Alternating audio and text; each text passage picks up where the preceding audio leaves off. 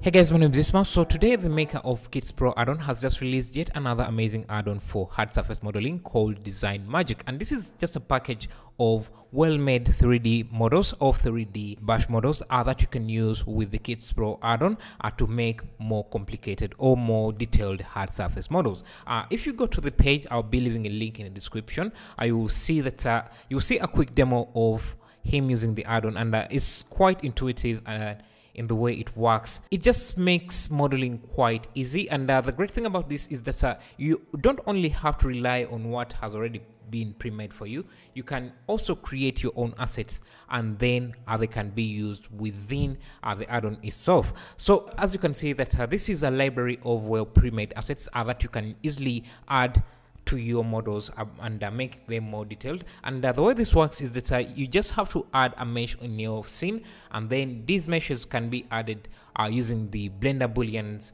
uh, system uh, to add those details and make them look like they have really been inbuilt within the model. The other thing about this model this plugin is also a non-destructive add-on. So you can make any changes and you can make changes to, to a model or you can add details to a model undo them uh, without undoing other details uh, that you already uh, added into uh, the model. He has also added uh, the ability to do cable physics simulation so that you can easily create messy cables uh, for your scenes with a lot of ease. Uh, so I'm not going to go over all the details here because they're quite a lot and uh, the great thing is that uh, he has already added a demo that you can go over to the page here and watch yourself and see how everything works. So what I like about this add-on is the is the fact that uh, there are a lot of presets uh, so you don't so you never really need to start from scratch when working on a project. You can just start with uh, something uh, basic